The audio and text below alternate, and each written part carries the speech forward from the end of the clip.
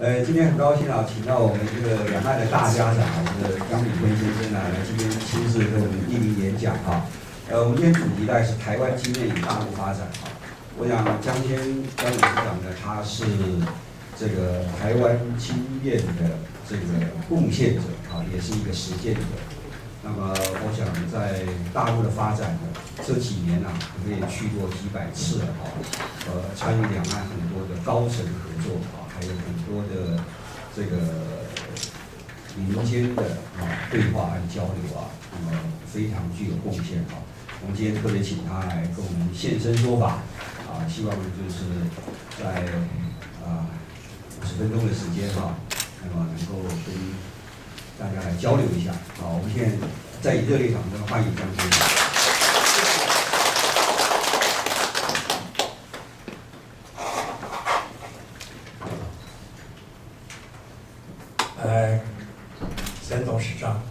各位来自大陆的各位新朋友，大家早上好。好。欢迎大家到台北。这个时候来有一点热，我想没有长沙热哈。那么开始有凉快，呃，很快的大概听说有台风。各位假如没有经历台风，这次可以经验看看。我前几天才。合肥开会，这个是我第一百七十五次到中国大陆。那合肥开完会，我就去登黄山。当然，我去过一次，大概是二零一零年，那时候我全部用走路。但是经过这么多年，脚力差很多了。我现在到大陆的年纪呢也是八十六了，所以。这个我我一半是做滑竿，有一半是走路，我一天还是要走一万步，所以对，所以不是在台北，是登环山的时候，大概是不要走一万步。我现在气候正好，尤其是听说一年三百六十五天，像那一天的好天气有六十天，所以可以说机会难得。我今天是谈这个台湾经验大陆发展。各位在这个，因为很抱歉呢，我的稿子到前天才完成，所以呃，应该有印给大家来看。我今天是按照这个我这个稿子呢，大致跟大家说明一下。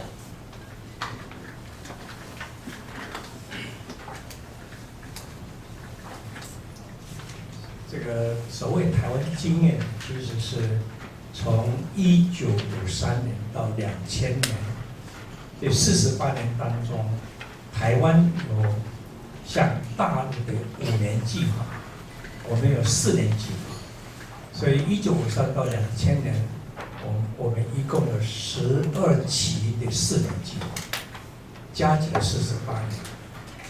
台湾没有资源，只有劳力、脑力，那么在这种情况之下。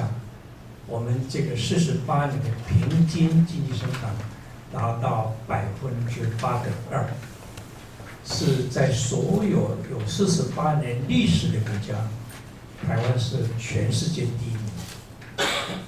失业率呢只有百分之二点五，所以我们叫做台湾经验。那么在这个四十八年当中，当然我们分阶段。采取政策，尤其是在每一个阶段发生重大问题，我们会采取应援措施。各位假如还记得，在一九九七年，在泰国发生金融风暴，那时候台湾也首当其冲。我九八年那一年，我们采取采取了适当的措施，台湾。仍然有四点这个二点成长，其他的国家除了中国大陆之外，全部都是负成长，所以我们渡过难关。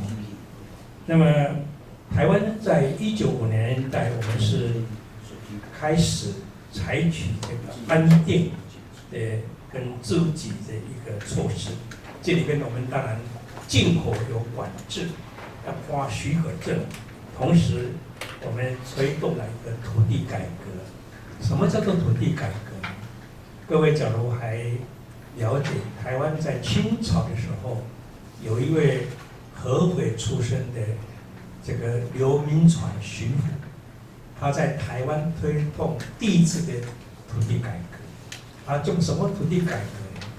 他去丈量每一块地，然后把所有权人登录，发给站党的土地所有权状。日本人在一九八呃一九八五年，这个到一九四五年，这五十五年，一九九五到一九四一呃一八九五到一一八九五到一九四五，一共五十年。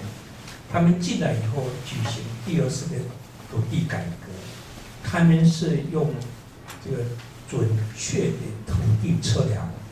然后调查它的生产量，给予等值，然后也就是一样，登记在它的台账，叫做土地台账。当时台湾有三层地主，第一层叫做大住户，第二层是小住户，第三是佃农。那日本人把大住户收购，把它变成这个。剩下小住户，也就地主跟工作的呃耕作的佃农。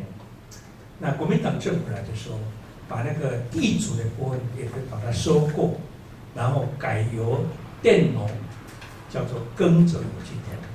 那一九六零年代，我们开始公布奖励投资条例。那时候，我们成立了三个加工出口区，包括高雄、南子、台中。那么加工出中加工出口区的好处就是提供一个免税，然后五年免税、进口免税的一个措施。所以在九零年代，台湾就开始推动轻工业的出口。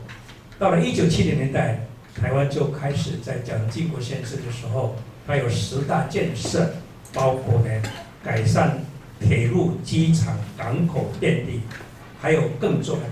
发展石化，包括那个时候成立的中国钢铁公司、中国造船公、台湾造船公司，都是国营的国企。到了八零年代，台湾面临今天中国大陆所面临的美国的压力。当时我刚好在政府负责这一块，所以美国的对美国的粗糙态度，美国要求你降低关税。开放市场，保护智慧财产权，跟今天中国大陆所面临的问题一模一样。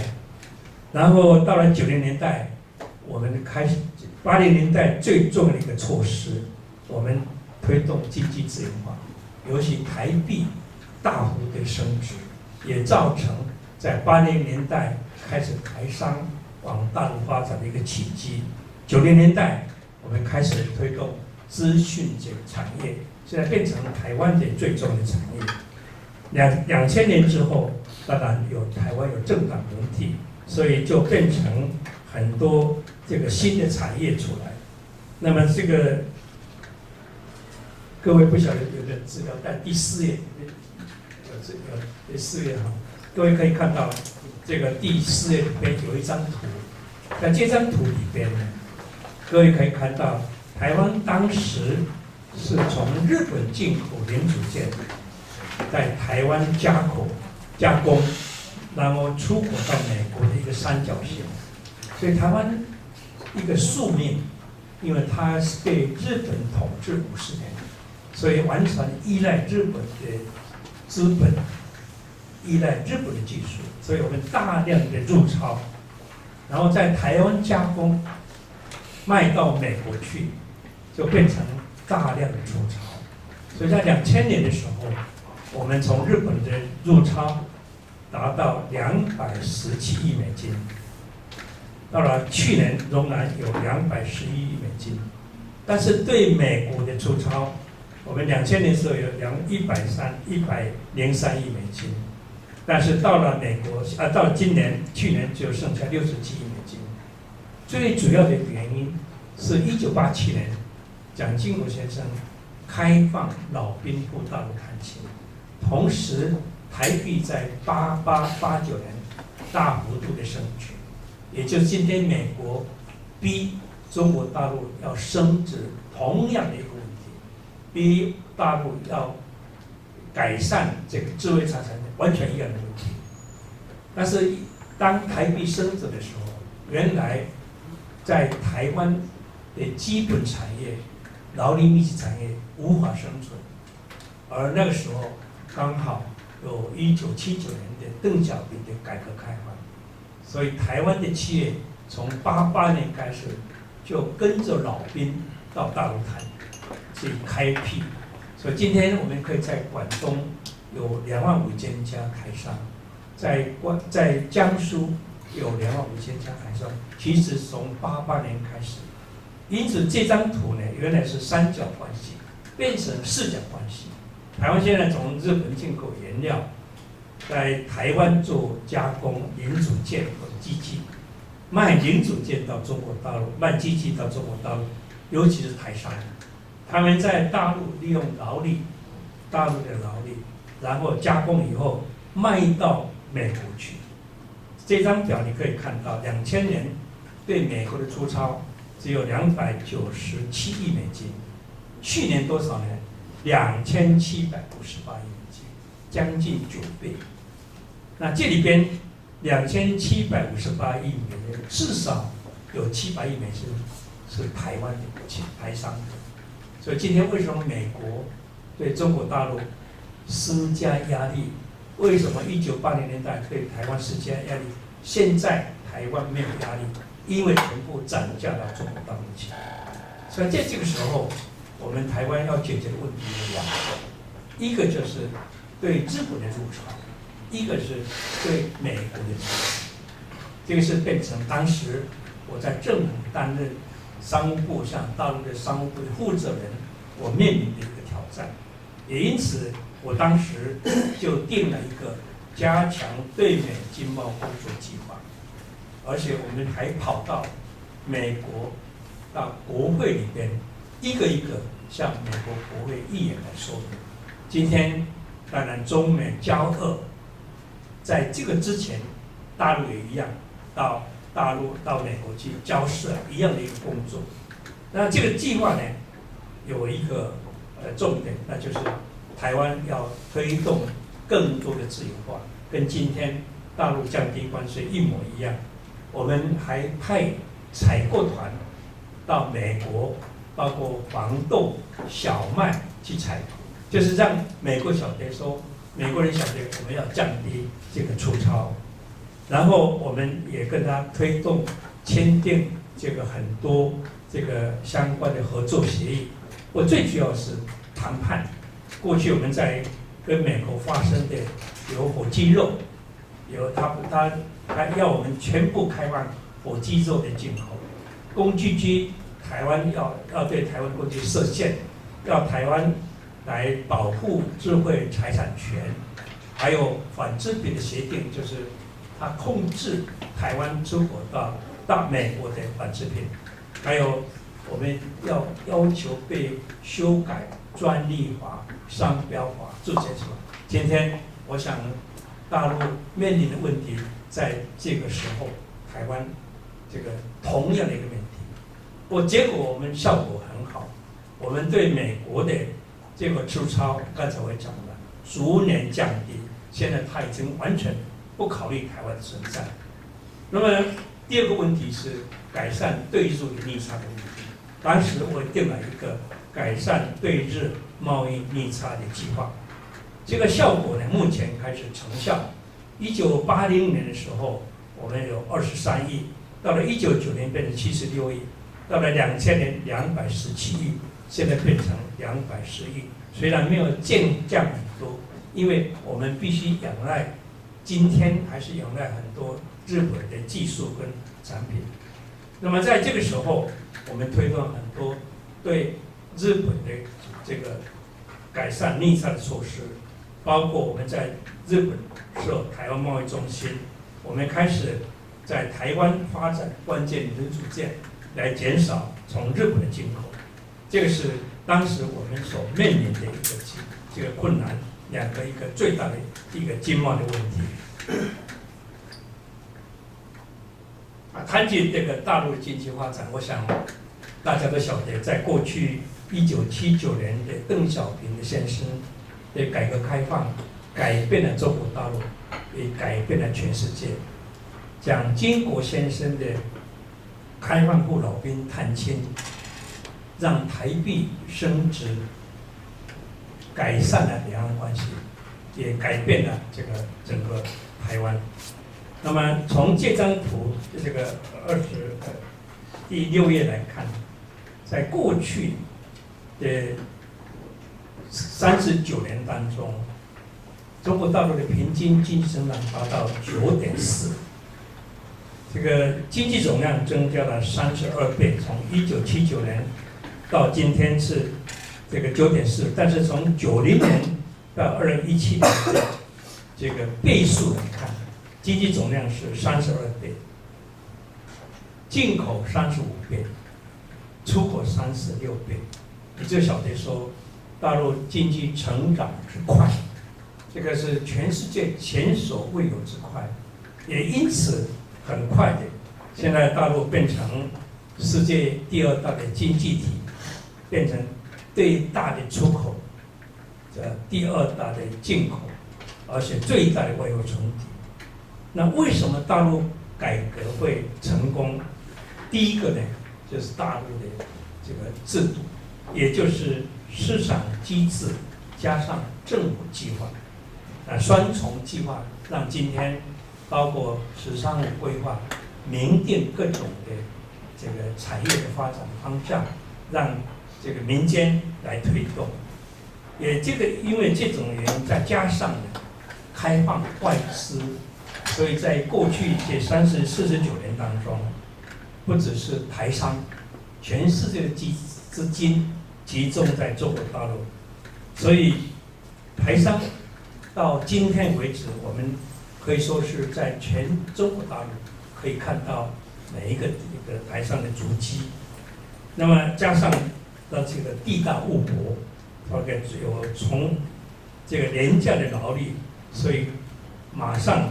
可以说，结合外国，包括台湾的资金，呃，跟这个技术，结合大陆的劳力跟土地，马上就快发快速的发展。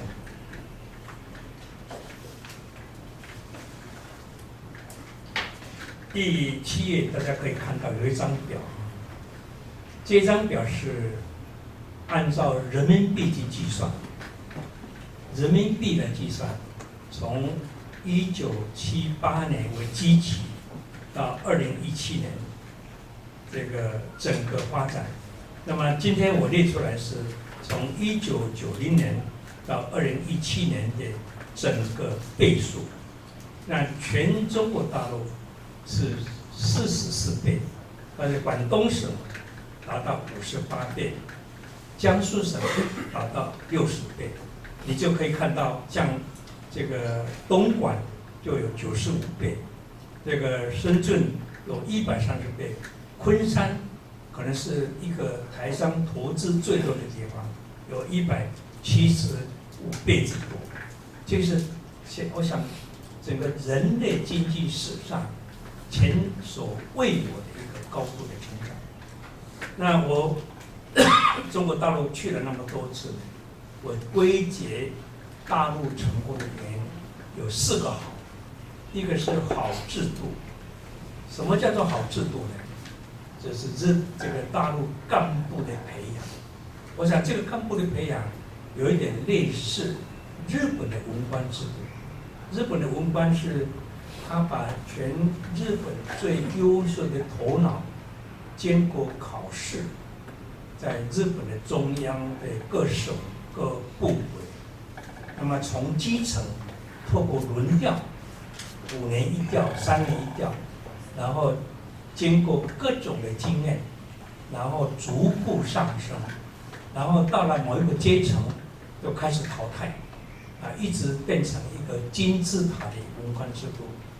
我有一个朋友在日本做这个商务部的副部长，他曾经被邀请到中国大陆去讲解日本的文化制度，我会请他到台湾来做我的顾问。那我也很想实施日本的文化制度，就是从基层培养，逐步淘汰。这个制度其实大陆也采取这个制度，很多领导干部他们都经过基层，像习近平总书记，他也是从基层的县级到市级到省级，那么在历练过程当中，上面要考核，下面要考核。有一次我到这个呃辽宁省，那个陈正高省长。说要来陪我，就他打电话来，他说我现在不能去陪你，因为上面要来考考核。他说上面来要去看，以外要复翻问卷调查，给副省长、给厅长打我的分数，就是由下面考核。然后经过五年，他就按照他的成绩去开始呃调升。或者调到别的地方，你看现在大陆每个领导，有些是经过好几个省、几个市，这样培养到每一个职务。我常常说，这个好制度培养了好人才，那好人才可以定出好政策，而这个好政策又可以好做事，因为在像今天台湾、日本很多事情。都要经过国会，国会朝野冲突根本通不过。但是呢，在中国大陆，经过这个常委会通过，第二天就开始执行。所以可以说是每一个他的优点是，每一个领导都富有经验、有领导能力、有魄力的一个人，在民主国家。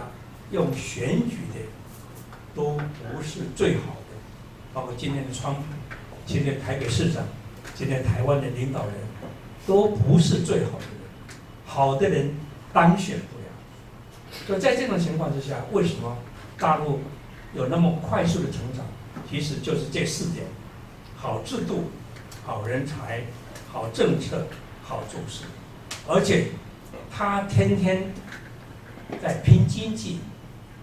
各位，假如跟他们领导向我去，每一个领导坐下来，他一定吹他的政绩，包括这我这里去年经济总量成长几百分之多少，我的财政收入增加多少，我的绿地增加多少，我的高速公路增加多少，都是在搞经济，没有一个人像今天的台湾都在搞政治、搞选举，所以为什么大陆会这么快？其实我归因于这个好制度。那么在第八页呢，我就开始谈这个两岸关系。各位都晓得，在一九四九年，国共这个这个国民党战败，占据台湾。从一九四九年，将近有四十年的时间，台湾跟大陆处于。商埠的时代，不接触，不来往啊，这个各种的这个商埠，所以台湾大陆那个时候在搞斗争，搞文革，台湾在拼经济。但是，一九七九年邓小平的改革开放，到了一九八七年，我刚才所说的蒋经国先生开放老兵过大陆探亲。开始有了两岸关系，那么那时候台币升值，很多劳力密集没有办法生存，只有跟着老兵，他们坐飞机到香港，落户在今天的深圳、东莞。到了九零年代，他们坐飞机到香港，转到上海，然后落户在今天的昆山。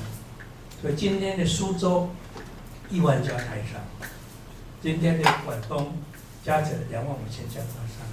今天广东省是第一大经济省，江苏第二省，其实台商功不可没。那么因为这个这个台商跟着老兵走，所以当时我在商务部，就是经台湾的经济部，我们开始颁布开放这个台商赴大陆间接投资的一个办法。九一年，两岸开始成立一个民间的团体，一个叫海基会，一个叫海协会。那时候，第一任就是台湾的一个很有名的一个企业家，就郭正武先生，跟原来的上海市长汪大华先生，他们在九二年透过在香港的谈判，达成了两岸的共同共同的一个共识，我们叫做九二共识。那么对台湾来讲，我们把它叫做一中各表。为什么呢？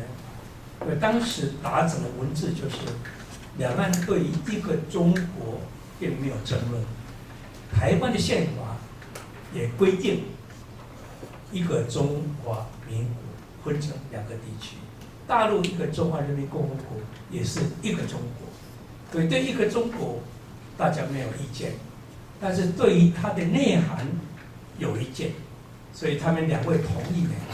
对内涵。我们各自用口头来表述，就是你讲你的，我讲我的，也就是一个模糊化，让他把它搁置在旁边，不要再讨论一个中国的问题。所以九三年，他们在新加坡开了第一次的孤汪会谈，大陆叫汪辜会谈他们签署了四项协议。但九八年。顾建先生到大陆去，九九年李登辉总统，大家讲了两国论以后呢，两岸就破裂。到两千年，陈水扁上台，各位在报纸看到，最近他又在出来讲话了，一边一国，所以两岸关系呃变为变成一个相当恶劣。到了两千零八年，才开始，呃，国民党执政之后，我们开始。两会的协商，那两会协商之前，其实我是在两千零五年三月二十八号，我代表国民党率领国民党代表团，我到广州去祭拜这个这个黄花岗的烈士，然后第二天我转到南京到中山陵去祭拜大家所尊称的孙中山先生，这个。第二天，我们第三天我就转到北京，在三十号的晚上，我跟当时的国台办陈玉林主任，我们半夜开会，开到十二点钟。对于我们提出的要求，大陆有正面的回复，我们称为这个十二，我们发布了一个十二项的共识。那么十二项共识，积极乎？都是讨论到这个经济的问题。那么四月底的时候，连战先生代表国民党第一次率团这个到北京，跟当时当时的呃文锦文锦涛总书记见面，那么发表了五项呃共同这个宣言。那么后来就变成。国民党的政纲，那么开始步步实施。但是，假如没有国民党赢得选举，就不可能。那国民党没有当选之后呢，他就按照两过去我们所达成的共识，就开始来推动相关的措施。海基海协呢，就开始运作。那么第八页的最后呢，我把它。现在台商到大陆投资，照台湾政府是四万三千件，一百一千差不多一千八百亿美金，照大陆统计呢有十万项，等于差不多两倍多。所以假如按照这个来来计算，在大陆投资，我相信至少至少超过三千亿美金。那以金额来讲，百分之三十。在江苏，有件数来讲，百分之三十在广东。那么第三位是福建，第四位是浙江。所以把这个四个省沿海加起来，台商投资占整个大陆投资三分之二，那其他三分之一就分布在中部、西部，包括北部。到今天，在遥远的漠河，我各位有没有听过漠河？在哈尔滨，有一次我在零零六年到哈尔滨去，有个漠河台商开了四个小时车子到哈尔滨来看，我我说你在养你做什么？他在养狐狸，所以台商无孔不入，在全中国大陆都有台商的足迹。这个是第九页最上面，就大家可以看得出来。台湾对外投资有两大块，一个刚才讲的中国大陆有一千八百亿美金，第二个是东协的十个国家，大概是占这个百分之十一中，第三个是日本，在一九八九年。现在中国大陆因为台商的投资，市场变成百分之四十。这个东盟因为海上的投资，现在占百分之十八，然后美国剩下十一，原来美国占三十六，现在变成十一，再来是呃这个这个欧洲，然后再是日本。第十页，我在两千零八年五月二十六号，我担任海基会的董事长。在六月十一号到十三号，我到大陆去访问。我跟陈会长那时候，他从国台办主任转到这个这个海协会。我们第一次很快的一个月之内，我们就开了第一次的会谈。台湾我们叫做江城会，中国大陆叫做陈江会。那第一天。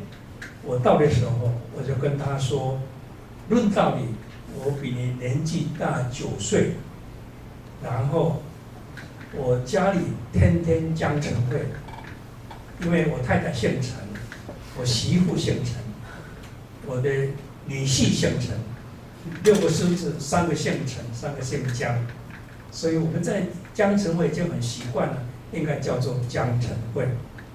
这个是笑话了。”不过，从此我跟他举行了八次会谈。这个八次会谈里边呢，有很多重要的协议。当然，一个就是直航。今天过去我到中国大陆，我都必须要经过香港，等两个钟头，所以到北京要一整天的时间。到东北更惨，有时候我到香港转回到北京。然后从北京回佳木斯，哦，就要花花几个趟。有时候经过韩国。第二个就是这个海运的直航。台湾过去这船只必须经过琉球才能够中国大陆。中国大陆进来的要经过琉球的石门岛。那有一次，这个琉球的县长来看，那时候还是。军机部长，他说：“江先生，现在有一千条船经过我这里，我一年，呃，他一万呃一万一万次吧，呃，一年，呃，大概一千。他说一年一一条船收十万块之币，我一年有一亿的收入，能不能多一点？我就跟他说，县长太麻烦了。”你能不能把我你的海关的图章借给我？我在基隆港盖，我就不要钱，就不要去，呃，钱一分一半给你。所以那个时候增加成本，现在完全开放。所以两边到现在最多的时候，我们的直航可以说是达到这个八百七十万次多。第三个就是观光，观光协议。让大陆很多民众能够到台湾来。第四个，我想最重要的就是我在呃第五次，也就是在二零一零年，在重庆，我们召开了这个第五次的会议，我们签了两岸经济合作协议。这个在后面我会更详细跟大家说明为什么它这么重要。那这些协议我签了十八项，我第八次开完会，我就跟我们领导说，我就满八十，我的人生不多，我要自由，我要不要压力？因为在台湾做事情不像在中国大陆领导那么好做，我们的压力很大，尤其我们的在野党反对跟大陆往来，就今天的执政党，所以他会利用各种的这个假新闻来攻击你，攻击你的儿子，攻击你的家庭，用这个方式让人家造成很大的压力。所以我在第八次我就辞掉，我的后任履行了三次。所以一共有二十三项协议。那签署协议呢，我们看到台湾所受到的经济的效果。那这个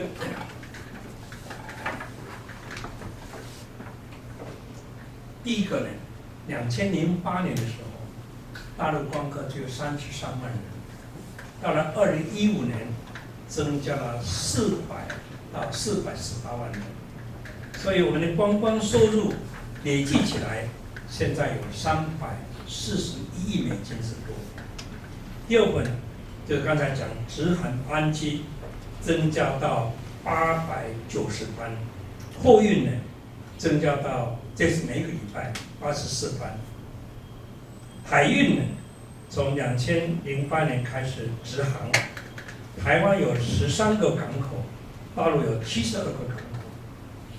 然后最重要的是这个 a q u a 那么 a q u a 其实为什么对台湾重要？在二十十一页，我有一张表跟大家说明。这个叫做在重庆签的两岸经济合作架构协议。这个架构协议呢是根据 WTO 的规定，我们是先采取一个框架的方式。这个是中国大陆跟东盟。日本跟东盟，还有这个韩国跟东盟都采取框架方式，因为内容太多，只能分次来完成，所以它是框架。框架的后面，我们一共有五种协议，一个叫货品，一个叫服贸，一个是叫投资，另外有一个这里面有写，就是争端解决机制。然后最后一项经济合作，那这里边我完成了经济合作里边有一个关税合作以及投资保障协议，我对后任完成了服贸，可惜台湾的国会没有通过，没有生效，货品贸易没有完成，而货品贸易对台湾来讲是最重要的一项，为什么呢？今天我们跟韩国、跟日本在竞争，韩国出口一百块钱，有八十块可以享受免税，为什么呢？韩国跟欧盟达成达成自由贸易协议，也跟美国原来是跟北美完成协议，现在跟美国又重新谈判完成。然后跟东盟全部四个国家互相免税，那所以台湾只有百分之九。台湾假如能够跟中国大陆完成这个货品贸易协议，我们有百分之四十就可以享受免税。今天中日韩完成，我想日本将来。免税超过百分之六十，而在台湾只剩下百分之九，因为中国大陆变很成。那两岸好的时候，我们跟新加坡、跟纽西兰签，贸易量不多。两岸交恶，现在做什么事都行不通。所以对台湾来讲，台湾经济面临很大的危机。下面我谈到两岸和平的红利。也就是国民党是采取了协商取代对抗，我们用合作创造双赢。所以台湾两岸关系好，国际关系就好，所以那个时候没有断断交的问题。大陆也很好，这个几些国家要跟大陆建交，他叫他回去。两岸关系好的时候，他就保持让台湾在国际上有一点地位。那你关系不好的时候，他就不客气了，先把你断掉几个。同时呢，你看这个出国的免签证，我们现在到国外去，很多国家给台湾免签证。两千零八年的时候，有五十四个国家，两岸关系好的时候，到了二零一六年五月，增加到一百六十四个国家。也同样的，因为两岸关系好，我们可以日本签了投资保障协议，我们跟纽西兰签了自由贸易协议，跟新加坡自由贸易协议，所以两岸关系好，对台湾最好。但是呢，问题是，民进党执政之后呢，现在两岸关系快速的恶化。各位在报纸上看到，我们这个领导人呢，拒绝接受九二共识。老的领导人又强调一边一国，所以现在两岸已经没有互信的基础，所以现在海基海协过去我们一年有三百个团来到海基会来看，现在一个团都没有。各位假如有空看看海基会大厦，是我用木管去干的，漂漂亮亮。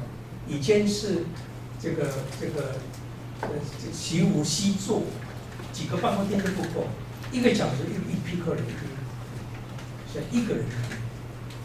不但是没有，以前我们有一个热线，天天打电话往来，现在传真去有接不回，打电话去不接，然后两会的协商全部停顿。所以后续的协议一个都没有，再加上原来所签的二十三项协议，都有主管机关，像大陆的公安部跟台湾的侨部，天天拿起电话就解决诈骗、诈骗、诈骗犯的问题，共同打击犯罪。这个交通部跟大陆交通部打电话指挥的问题。都可以用电话解决，现在全部停顿，所以这个在这种情况之下，这个两会协商可以说是影响很大。另外，大陆现在推动“一带一路”，还有很多项目这个这个大陆主导的这个 R 线还有美国、日本主导的 CPTP，台湾都没有办法参加。所以将来台湾建变成孤立的一个孤岛，有点像恐怕以前。那么光刻呢？原来最多的时候四百十四万，去年是两百七十万，今年更少，今年更少，可能变成一半。那航班原来是八百九十班，现在只剩下六百十五班。有很多地方都停驶、停飞，所以观光旅游，各位假如有机会去看看南部的旅馆，我在我我家在南投，南投是日月潭所在的地方，我的朋友开一个叫南投大饭店，一直给我求救，没有旅客，他借款一亿没有办法回，银行要把它拍卖掉，像这种事情，整个旅馆。这个观光客找不到人，那不但是导游，连游览车，还有卖这个凤梨酥的这些，完全完全都没有办法达到他们的这个要求。所以还有另外农产品卖不掉，以前这个四目鱼有气做，石斑鱼有订单，现在完全减少。所以现在民怨很深。就是因为两岸关系的恶劣，造成收入减少的家庭相当之多。那么现在，当然这个变成今天中美交恶的过程当中，台湾当然也会受到很大的冲击，因为台商从台湾进口零组件，在大陆组装卖到美国去，将来高关税影响他们竞争力，就影响台商从台湾采购的这个金额，台湾也是首当其冲。另外，当然在国际的空间，现在根本就大陆不给任何的空间，这对台湾来讲是一个很严重的一个课题。那么，对于今后，我想两岸关系的转换，我想我提我的个人的看法。两千零二年，我曾经到新加坡，那时候李光耀先生已经退休，我去看他，他跟我讲，他说江先生，我最羡慕你们台湾，你们离大陆近，同文同种。语言相同，你们可以把大陆的成长来的养分来茁壮台湾。我新加坡离中国大陆太远，我想做做不到。这句话是我跟我心里所想的是一模一样，因为在早期，在两千年之前。我们正在推动台湾成为亚太营运中心，就是李光耀先生所说的，你的地理位置太好，可以变成欧美企业经过台湾到大陆的契机。因为当时很多企业他不敢直接到中国大陆，但是跟台湾合作，语言文化也可以。我现在到日本去。我一直跟他讲，日本人最好到台湾，跟台湾一起到中国大陆去，因为文化习惯不一样。你可以负责这个技术经营，我负责劳务跟公共事务跟政府的关系。我常常开玩笑说，你们日本人白天行，晚上不行；台湾台商晚上行。所以一个白天行，晚上行，一起合作最。那 这个我们亚太中心就是希望利用台湾的经济自由化跟两岸关系的一个一个一个正常化，让很多国际的企业在台湾设立据点，进军中国。可惜两千年正常问题。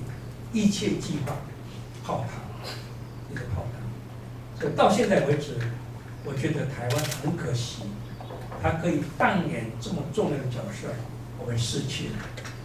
所以这个是我今天一直在，尤其是当时台湾有资金、有技术，巴黎有市场、有劳力。我们叫做优势互补，我们可以合作起来。就是连战先生在这个北京大学演讲，他说“一加一大于二”，这是优势互补，创造双赢。这个是我想今天台湾最重要的一个原则。但是在这个过程当中，你会得到很多的好处。两岸好，国际关系好；两岸好，关货增加，台湾经济好。那你作为一个领导人，你的目的何在？你是要你的老百姓能够在台湾过着。我常常说，我的一生的愿望就是如何让两岸同胞变成能够安居乐业。我常常在讲，我希望我的儿子、我的孙子、我的子孙永久能够住在台湾，享受安居乐业。什么叫做安居呢？两岸和平，两岸没有战争，两岸很和好，两岸很快乐。什么叫乐业呢？经济繁荣，优势互补带来经济繁荣。那我们的子子孙孙等于在天堂一样，等于在天堂一样。可惜今天的民进党政府倒行逆施，变成我们面临更多的这个挑战跟风险，而我们的很多人才现在纷纷移居到中国大陆。各位大概听说，现在多少人在台湾找，在台湾的青年到大陆找工作，多少教授在大陆的大学教书，多少青年到大陆去创业，对台湾来讲是很伤。如此下去，台湾就变成刚才讲一个孤岛，没有前途的地方。但是呢，我相信我们应该要有信心。现在虽然没有海基海协，我们现在还有两个平台，一个叫做两岸企业家峰会，肖万昌先生做理事长，我做副理事长。另外，我还有创办了一个对两岸最重要的平台，叫做两岸这个信息产业和技术标准论坛。我在两千零五年创办之后，到这一次我的合肥。有十五次，各位都晓得，台湾过去是代工起家，今天大陆也是代工起家。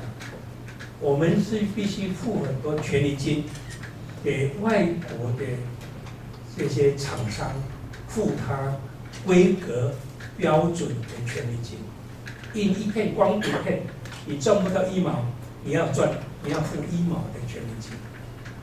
假如台湾有技术，大陆市场。我们定一个我们自己的共同标准，现在成功了。现在我们已经定了五十九项共同标准，这里边有六项变成世界的标准。等将来我们可以说权利金，就不要再付权利金了。在这种情况之下，我想我们可以说是两岸合作，然后优势互补，然后让。台湾能够安居乐业，两岸同胞的团结，这是我一生最大的愿望。我想，我相信这个上天不会放弃台湾，我们很快就要去。当然，我们希望主张两岸和平的人，将来可以再领导台湾。谢谢大家，谢谢。几分钟时间，还有一点时间，大家可以跟江各位董事长交流一下。嗯。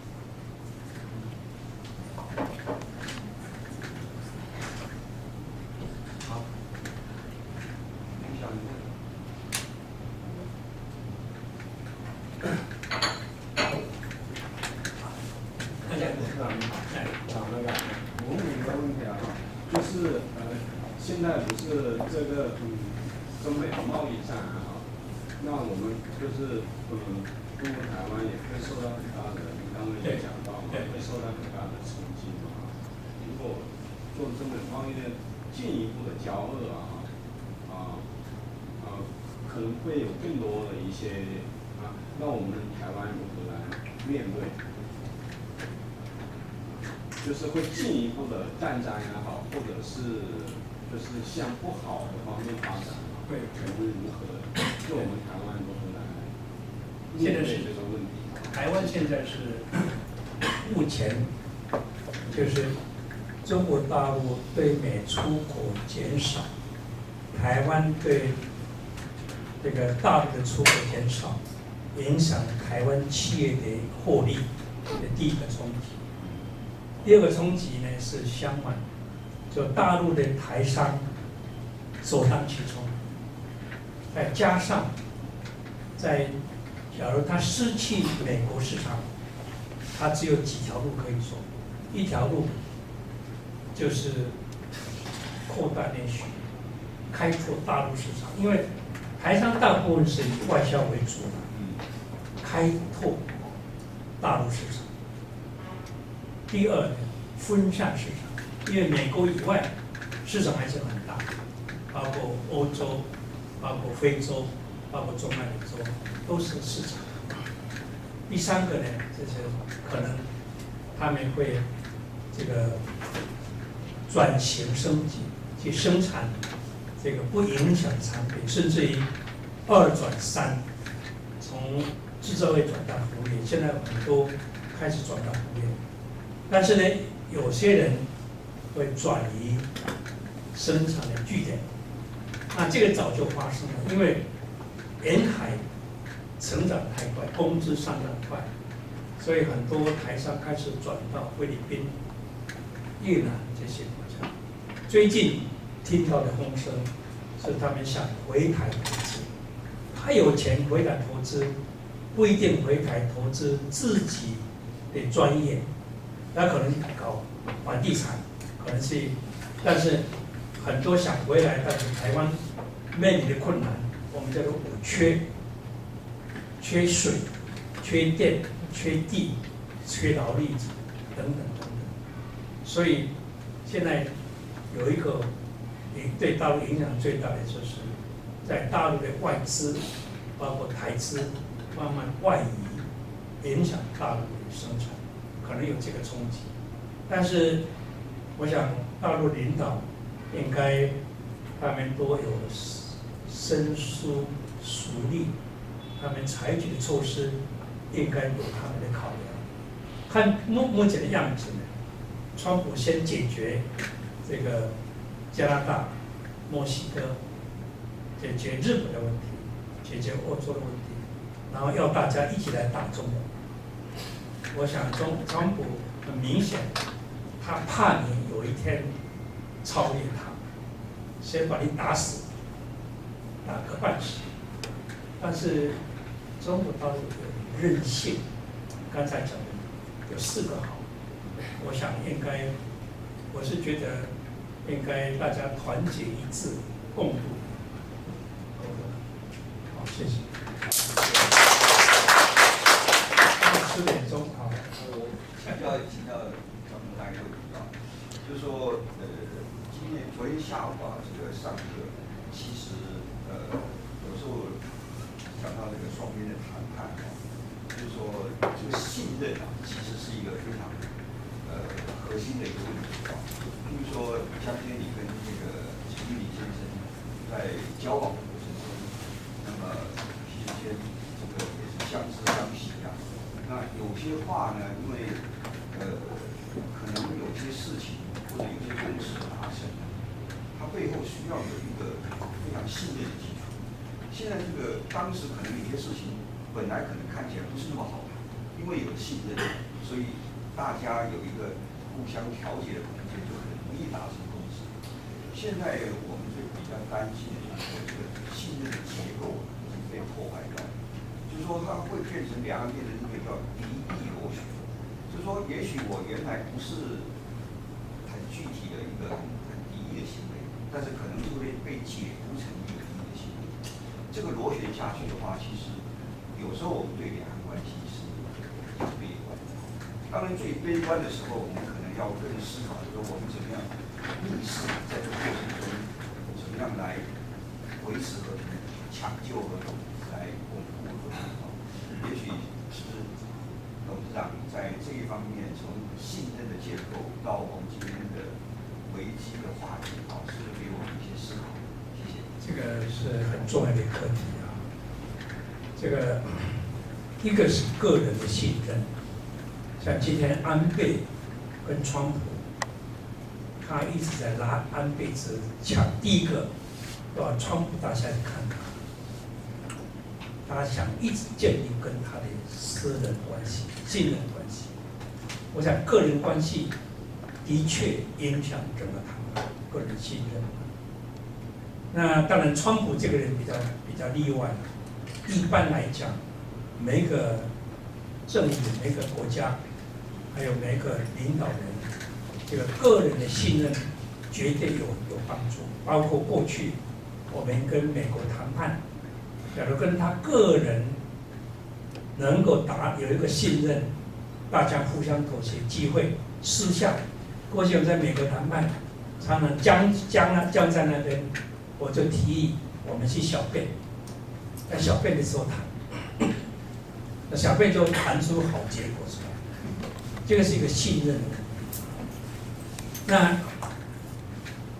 从我跟陈会长谈判，其实我是最后一个层次，前面有高国美先生、郑立忠先生，他们会吵，吵来吵去，他有点半黑脸。但陈玉林主任在好的地方，只要我跟他讲，他为了全局他会接受。好几个例子，总有章节我跟他讲，甚至于在开会席上，他会圆满满足我的要求。啊，这点我是一直很感谢他。当然，你要让人家信任的条件。那你自己的个性是值得信赖的人，你的尝试，你的经贸知识丰富，谈得来，谈得来。假如你不搞经贸谈判的人，跟当然这个不讲的不好听啊，他的后任叫陈德明先生，他做过商务部部长，厉害的很。我们的后任。没有做过经济部长，不懂经济，你就谈不来。没搞经济的人懂，都有同一个理想，搞，这是一项，我是觉得很重要的。所以，我跟陈会长都是经过这个这个这个预备先磋商，很多吵吵架都有，很多吵架形成到最后初步一个共识。互相让，有时候像那个这个台上这个投资保投资及促进协议、投资保证协议，花了好两年时间，就是为了一点点症结。大陆不喜欢用“国际”两个字，他不喜欢用“国际”两个字。那么这像这种这个仲裁，大陆也很不喜欢用第三者的仲裁。但是呢，总是要不能磨，磨到最后，我跟陈会长谈，就就会结束。这是一个信任的重要性，包括个人信任跟制度上的信任。第二个就是今天假如没有信任，当然现在没有我们两位协商，但是问题是两岸敌对意识抬高，影响民间，老百姓对台湾的敌意越来越多。比较经济，不像以前。以前大陆旅客来见你，他很放心，而且每一个人回去的时候都很满意台湾人的热情、台湾人的礼貌、台湾人的好客、台湾人的排队、台湾人的让路，他们都很很配，他们会带着好的印象回去。今天恐怕不一样。不一样，他们来心里有一点障碍，感觉是不是很友善？其实台湾人到现在还是友善，只有政府不好而已。但是大陆民众敌意加深。我举一个例子，八十五度 C 的。当时对大家晓得这个很有名的连锁店，他就是蔡英文去他的店，他想去看台商在这里的发展，本来没有事。